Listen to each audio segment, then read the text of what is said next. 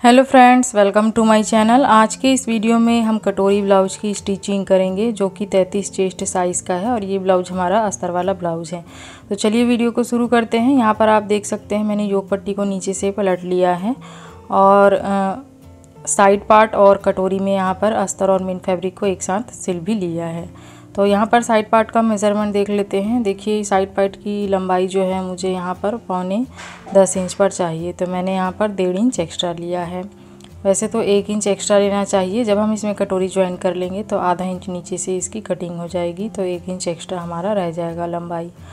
देखिए, यहाँ से ये मुझे पौने चार इंच पर चाहिए। तो मैंने पौने पाँच इंच पर लिया है, एक इंच एक्स्ट्रा लिया है। और यहाँ पर आर्म होल की कटिंग हम बाद में कर लेंगे। अब कटोरी का यहाँ पर मेज़रमेंट देख लेते हैं। कटोरी की लंबाई साढ़े सात इंच है और ऊपर की साइड कटोरी की चौड़ाई जो है लगभग पाँच इंच के लगभग है।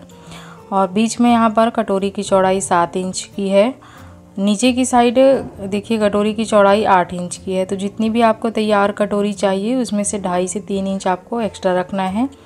जितना आपको डक्स की चौड़ाई रखनी है, उसके हिसाब से यहाँ पर आप बढ़ा सकते हैं चौड़ाई को। तो ये था हमारा साइड पार्ट और कटोरी का मेज़रमेंट। इसमें मैंने अस्तर और मेन फैब्रिक को एक साथ चिपका लिया है। तो चलिए अब हम इसमें कटोरी और साइड पार्ट को जो है ज्वाइंट करते हैं। तो यहाँ पर देखिए, कटोरी को उल्टा रखेंगे और साइड पार्ट को सीधा रखेंगे। उसके बाद आधा इंच का मार्जिन देकर यहाँ पर कटोरी को ज्वाइंट कर लेना है। तो कटोरी को थोड़ा सा खींच कर ज्वाइंट करना है यहाँ पर। इस बात का ध्यान रखें। तो इससे फिनिशिंग आपकी अच्छी आएगी। देखिए, आप कटोरी को सीधा करने के बाद नाखून से क्रीज बना लेंगे, जिससे हमें उल्टे की साइड पता चलेगा कि कितना यहाँ पर सिलाई लगाना है। तो देखिए, एक सिलाई और लगा लेंगे तो डबल सिलाई लगाकर आपको कटोरी को ज्वाइंट करना है। उसके बाद देखिए, नीचे की साइड आपको इस तरीके से कटोरी को फोल्ड करना है और टक्स की सिलाई लगाना है। तो यहाँ पर बिना नापे ही टक्स की सिलाई लगाना है। तो टक्स का मेज़रमेंट हम अप करेंगे। तो यहाँ पर टक्स की ऊंचाई जो है ढाई इंच की रखनी है। ढाई इंच पर मार्किंग कर लेंगे। यहाँ से सवा एक इंच टक्स की चौड़ाई रखी है मैंने। तो यहाँ पर तिरछा लाइन खींचने के बाद यहाँ पर टक्स की सिलाई लगा लेंगे। तो इस तरीके से टक्स की सिलाई लगाने के बाद कटोरी को सीधा कर लेंगे और सामने की साइड से एक इंच पर मार्किंग करेंगे। और देखिए साइड पार्ट की लंबाई जो है पौने दस इंच चाहिए तो यहाँ पर पौने ग्यारह इंच रखेंगे। एक इंच एक्स्ट्रा रखेंगे और इस तरीके से देखिए तिरछे में मार्किंग कर लेंगे। अब जैसा हमने यहाँ पर मार्किंग किया है, उसी के ऊपर देखिए इस तरीके से कट लगा लेंगे। तो यहाँ पर मैंने एक्स्ट्रा फैब्रिक की कटिंग कर ली है। तो अब यहाँ से हमें देखिए कटोरी को चेक कर लेना है। आधा इंच ऊपर से यहाँ पर कटोरी को नाप कर देखना है। जितना भी आपको तैयार कटोरी चाहिए, उससे आधा इंच एक्स्ट्रा होना चाहिए। तो मुझे पाँच इंच तैयार कटोरी चाहिए। यहाँ पर साढ़े पाँच से ज़्यादा है। तो फिर से यहाँ पर देखिए टक्स की सिलाई लगाएँगे। तो एक पॉइंट हमें यहाँ पर नीचे की साइड चौड़ाई जो है और यहाँ पर सिलाई लगाना पड़ेगा। तो इस तरीके से देखिए, मैंने यहाँ पर टक्स की सिलाई लगा ली है। अब यहाँ पर थोड़ा सा बढ़ गया है, नीचे की साइड उसकी हम कटिंग कर लेंगे। तो फिर से यहाँ पर चेक कर लेना है आधा इंच ऊपर से तो अब हमारा ये एग्जैक्ट है। तो आधा इंच बटन पट्टी की सिलाई में चला जाएगा तो ये पाँच इंच तैयार हमारा कटोरी हो जाएगा। तो यहाँ पर देखिए, योग पट्टी को मैंने नीचे से सिल लिया है। तो योग पट्टी का मेज़रमेंट कुछ इस प्रकार है। साइड से पौने तीन इंच तैयार रखना है तो आधा इंच एक्स्ट्रा रखेंगे और सामने से सवा तीन इंच चाहिए तो ऊपर से आधा इंच एक्स्ट्रा रखा है मैंने।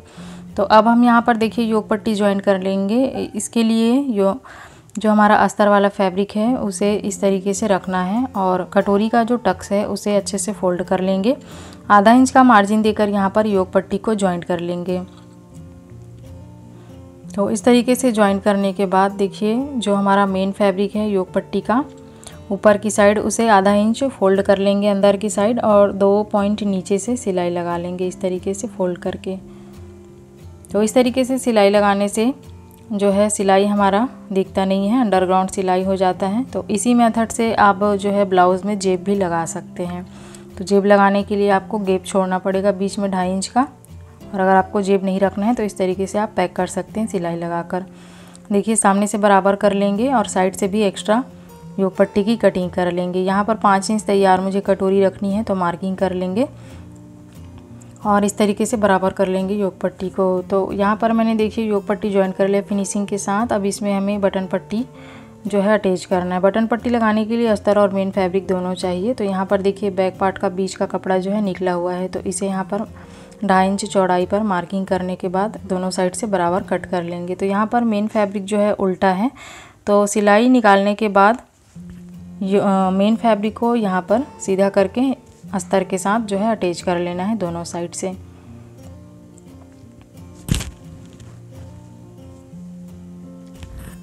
तो देखिए, इस तरीके से दोनों साइड मैंने सिलाई लगा लिया है। तो बटन पट्टी ज्वाइंट करने के लिए देखिए ब्लाउज को उल्टा करके रखेंगे और नीचे से आधा इंच जो है कपड़ा निकाल कर रखेंगे फोल्ड करने के लिए।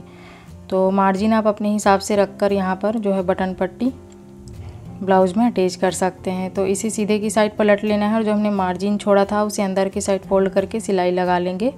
साइड से आधा इंच, देखिए पट्टी को इस तरीके से फोल्ड कर लेना है। आप देख सकते हैं मैं किस तरीके से इसे फोल्ड कर रही हूँ। तो इसी तरीके से फोल्ड करके पूरा ऊपर तक सिलाई लगा लेना है। तो आपको एक बराबर से फोल्ड करना है इसे और जिसके जहाँ पर हमने सिलाई लगाया था, पट्टी को ज्वाइन करते समय, उसी के ऊपर रख कर यहाँ पर सिलाई लगाना है। तो पूरा ऊपर तक सिलाई लगा लेना है। और मजबूती के लिए जो है बटन पट्टी के ऊपर डबल सिलाई लगा लेना है। तो इस तरीके से देखिए मैंने डबल सिलाई लगा लिया है। ऊपर से एक्स्ट्रा पट्टी की कटिंग कर लेंगे।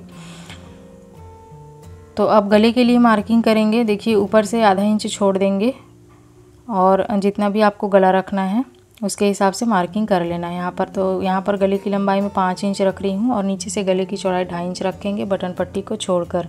तो इस तरीके से बॉक्स बना लेना है और गोल गले का शेप दे देना है।